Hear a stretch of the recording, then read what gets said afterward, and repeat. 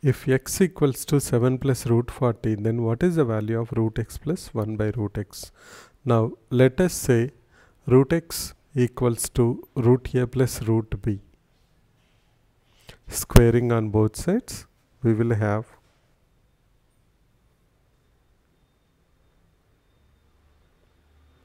root x whole square is equals to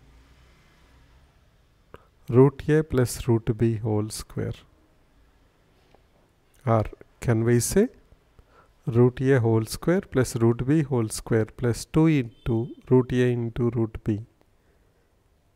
We have a plus b whole square equals to a square plus b square plus 2ab which will give us x equals to a plus b plus 2 root ab but what is our x? 7 plus root 40 so can we write down 7 plus root 40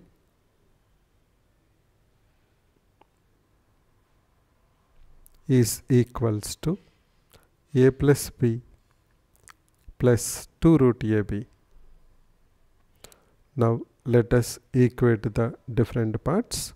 We will have a plus b equals to 7 that is the rational part and the irrational part we have 2 root ab equals to root 40 which can be written as 2 root to 10.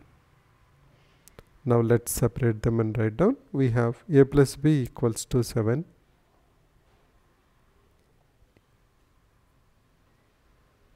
comma 2 root ab equals to root 40 which can be written as 2 root 10. That means ab equals to 10. So we have to find out a and b values such that a plus b equals to 7 and ab equals to 10. We can make this as a quadratic equation and we can solve it or we can by intuition say that a equals to 5 and b equals to 2 because 5 plus 2 is 7 and 5 into 2 equals to 10. So our root x is now equals to root 5 plus root 2. Now what we need to find out is 1 by root x that we can easily find out by rationalization of denominator. So let's write down 1 by root x equals to 1 by root 5 plus root 2. Let's multiply that with root 5 minus root 2 on both numerator and denominator. We will have 1 by root 5 plus root 2 multiply with root 5 minus root 2 divided by root 5 minus root 2 in the denominator we have a plus b into a minus b which can be written as a square minus b square. Root 5 is our a and root 2 is our b. We have a plus b into a minus b which is equals to a square minus b square. The whole idea of multiplying with opposite sign in the denominator is to remove that square roots and make it rational. So it will become root 5 whole square minus root 2 whole square which is equals to root 5 minus root 2 divided by 3. Now we have root x value with us that is root 5 plus root 2 and just now we found out that 1 by root x is root 5 minus root 2 divided by 3. Now we can add both of them we can find out the value of root x plus 1 by root x. So let's go ahead and do that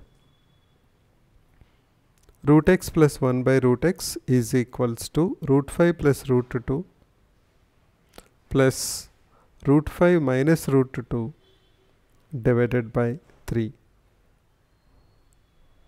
Taking LCM, we will have denominator will be 3 and we'll have 3 root 5 plus 3 root 2 plus root 5 minus root 2 which is equals to 4 root 5 plus 2 root 2 by 3. We can take 2 by 3 common. We will have 2 by 3 into 2 root 5 plus root 2.